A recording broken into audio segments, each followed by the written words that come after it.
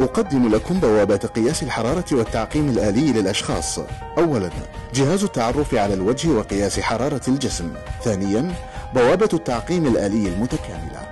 يمكن الجهاز من قياس حرارة الجسم من مسافة نصف متر وبدقة عالية. كما توجد ميزة اختيارية بإلزام الأشخاص ارتداء القناع الواقي في حال وجود ارتفاع بدرجة الحرارة يتم إصدار تنبيه من الجهاز بالإضافة إلى تنبيه آخر عن طريق برنامج الموبايل LED في حال كانت الحرارة طبيعية فإن جهاز التعقيم يبدأ بالعمل ليتم تعقيم الجسم كاملا مع تعقيم الحذاء أيضا في مدة زمنية لا تتجاوز 15 ثانية بمواد معقمة ومعتمدة دوليا.